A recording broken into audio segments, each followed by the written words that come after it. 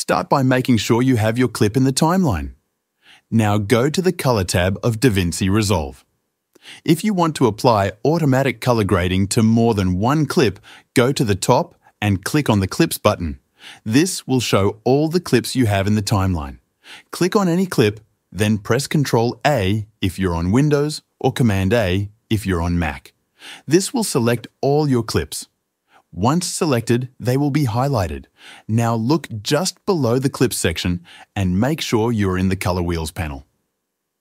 In the top left corner of the Color Wheels panel, you will see an icon that says Automatic. Click on it once and wait. DaVinci Resolve will now auto-color grade your clips. After the grading is applied, you might notice that the contrast looks too strong. You can adjust the contrast from the Color Wheels panel. You can also fine-tune the look using the other controls in the same section. For example, you can adjust color boost, shadows, highlights, saturation and hue. That's it. Your clips are now automatically color graded and you can tweak them as needed.